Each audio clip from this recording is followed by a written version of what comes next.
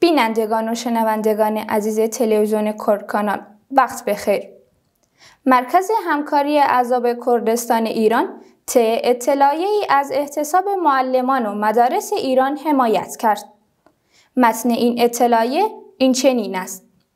شورای هماهنگی تشکل‌های سنفی فرهنگیان ایران فراخان احتساب داده است.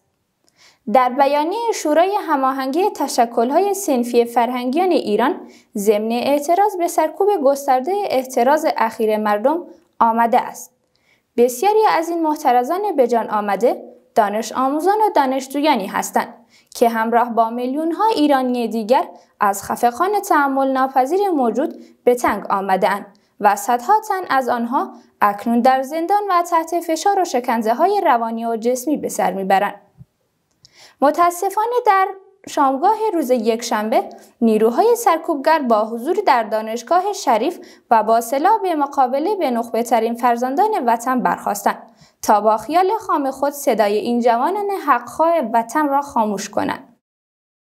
در اعتراض به چنین وضعیتی شورای هماهنگی تشکل‌های سنفی فرهنگیان ایران از معلمان و دانش آموزان می‌خواهد که در روز سهشنبه معرخ دوازده مهر ماه با اعتصاب در مدرسه و خودداری از کلاس رفتن همبستگی و همراهی خود را با همه محترزان جان به لب آمده نسبت به بیعدالتی های حاکمیت نشان دهد.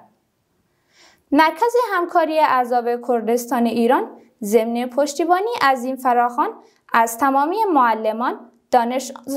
دانش آموزان و دانشجویان کردستان و دانشجویان کرد در دانشگاه های ایران که همیشه پیرو مبارزات مدنی در ایران بوده و هستند درخواست داریم که در این احتساب سراسری شرکت نموده و چون همیشه نقش هماهنگ کننده و پیشتر داشته باشند.